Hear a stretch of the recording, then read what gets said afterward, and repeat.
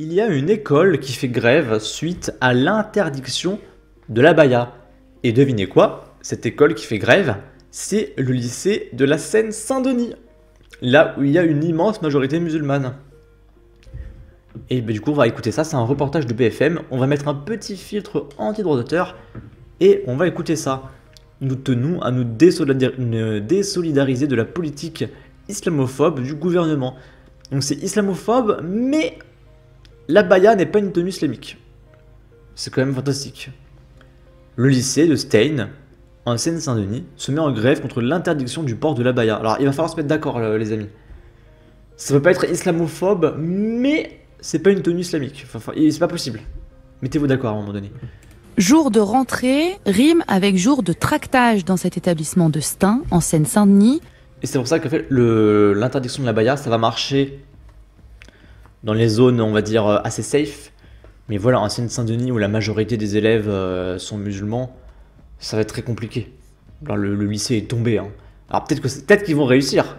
Peut-être qu'on va réussir à l'interdire en Seine-Saint-Denis. Mais là, tu vois, j'ai l'impression que les profs, euh, ils sont déjà avec les élèves. En la vie, le Seine-Saint-Denis, c'est finito. Hein.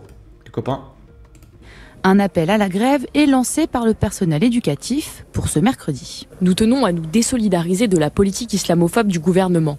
La polémique sur les abayas et le camis cherche à cacher les attaques qui sont faites contre le système public d'éducation. Un appel entendu par les lycéens. Alors moi je souhaite faire grève. Déjà on devrait essayer de trouver des professeurs. Il y a des nombreux... Ah, c'est marrant parce que euh, on est quand même genre... Alors là où je tourne la vidéo on est, on est mardi, non mercredi on est mercredi, troisième jour de rentrée, voire deuxième.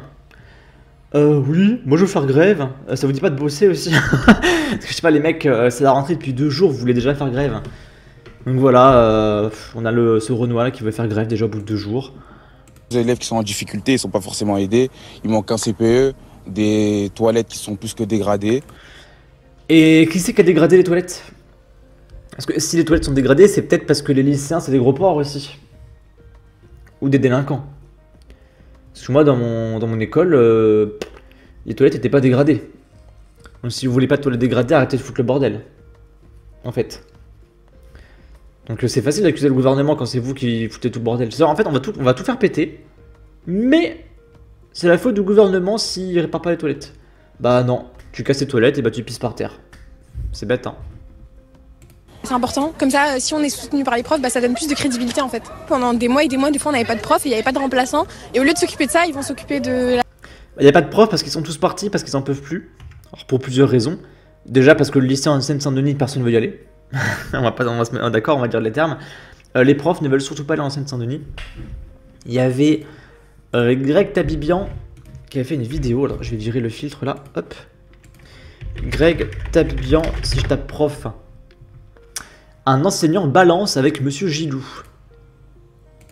Donc je vous invite à aller voir ça. C'est un. Greg bien interview un professeur qui vient de Seine-Saint-Denis et ils en peuvent plus. Alors ils en peuvent plus pour diverses raisons. Euh, à cause des agressions, à cause du système euh, éducatif qui est lamentable, où euh, ils étaient obligés de mettre. alors déjà ils étaient notés par couleur apparemment. C'est-à-dire que t'as pas 18 sur 20, 15 sur 20, t'as genre couleur jaune, couleur vert et couleur orange. Mais il faut pas mettre trop d'orange. Parce qu'il faut que la moyenne elle soit haute. Donc en fait, même si le mec qui fait copie blanche, euh, bon, euh, il est en jaune parce que. Euh, voilà. Et que. Enfin, c'est lamentable. C'est lamentable. Donc je vous invite à regarder, ça, dure une heure. 1h30. Mais il parle beaucoup du système éducatif. Il y a plein de raisons qui font que les professeurs, ils en peuvent plus. Et notamment en Seine-Saint-Denis, c'est une catastrophe. Et il y a plein de professeurs, il explique, qui quitte la Seine-Saint-Denis pour enseigner ailleurs. Parce que la Seine-Saint-Denis, euh, c'est plus possible. Donc euh, voilà. Hop, on va reprendre. La baya ou je sais pas quel problème. Et parmi les parents d'élèves, certains rejoindront également le mouvement. On n'attend pas d'un ministre qui nous dit comment on s'habille. On attend d'un ministre qui nous donne les moyens pour que nos enfants... Ils ont du mal avec la laïcité. Hein. Ils ont beaucoup de mal. Euh, oui, on n'attend pas du ministre qui nous dit, qui nous dit comment on s'habille. Il vous dit pas comment vous habillez. Il vous dit euh, les signes religieux sont interdits. Et c'est quand même fantastique de rien dire par rapport aux croix chrétiennes et aux pantalons hindous, mais ce qui concerne les musulmans, ça il faut le mettre.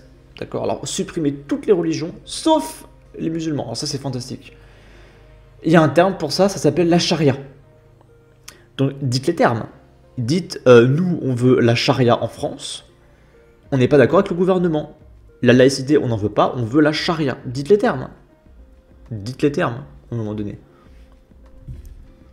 Un avenir serein, qui ait une- un traitement d'égalité, qui ait assez de professeurs contre arriver à un traitement d'égalité. Donc l'égalité, euh, selon eux, c'est on interdit toutes les religions sauf les musulmans. Donc croix chrétienne interdit, pantalon hindou interdit, voile autorisé. C'est fantastique l'égalité de la charia. Moi j'adore la charia. J'espère que la charia arrivera le plus vite possible pour qu'on ait un merveilleux système d'égalité où tous ceux qui ne sont pas d'accord avec les musulmans seront... Euh, alors je sais pas ce qui va se passer.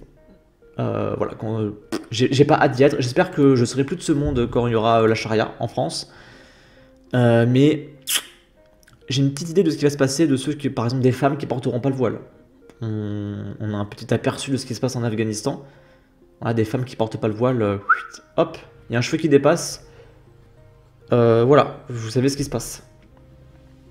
Ah, euh, y a une croix chrétienne, alors là, souvenez-vous hein, de Cristiano Ronaldo. Il a fait la signe du croix, de la croix de Jésus, la croix chrétienne, en marquant un but. Et limite, il a failli se faire expulser, quoi. Parce qu'il a osé faire un signe chrétien. Donc là, scandale total, d'accord. Par contre, euh, le voile est de plus en plus autorisé au football. Là, il n'y a aucun souci, les amis.